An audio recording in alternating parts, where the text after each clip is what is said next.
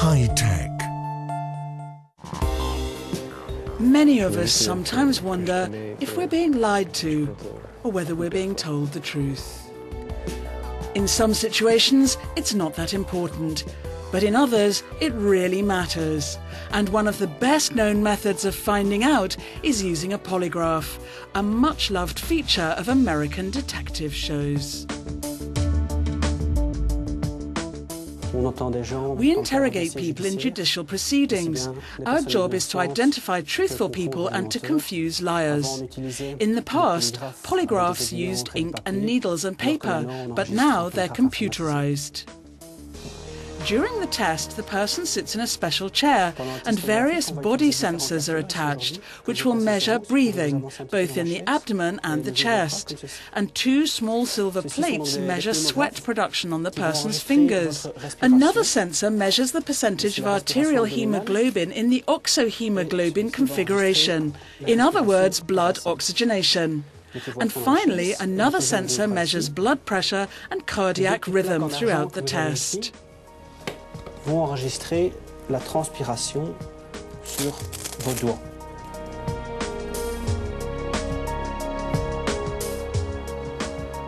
When somebody tells a lie, they put themselves in a dangerous situation.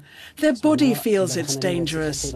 That's why adrenaline will be released into the blood. Adrenaline is a natural stimulant, and when it is released, the heart will beat faster, and there will also be more blood flowing around the body. The blood carries oxygen, which is what our muscles burn, so it creates a lot of activity inside the body.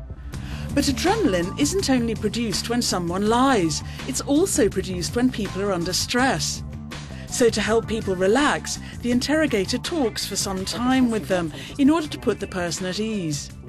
Decreasing stress increases the reliability of the test. For Francis, lying is second nature. I know him very well and I know he can make anyone believe anything. So if anyone can fool a lie detector, he can. Francois is a professional actor and this is the challenge. Francois has to take a numbered card completely at random and then say no, regardless of what the examiner asks him. The examiner will see if the polygraph can detect the answer, which is a lie. Je t'en prie. Choisis. Ok. C'est bon Yes. Alors, tu regardes, tu me le montres pas. Tu l'as en tête Mets-le bien sous ta main, je le vois pas. Ok. C'est bon Et vous choisissez numéro 7. Non. Et vous choisissez numéro 10. Non. Et vous choisissez numéro 13. Et vous choisissez numéro 5.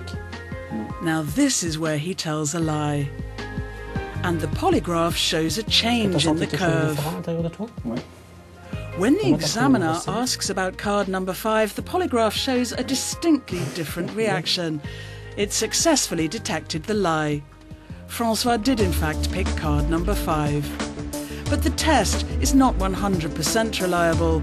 Experts estimate that it's only 94% reliable, which is why in most EU countries, results from a polygraph test are not admissible evidence in court.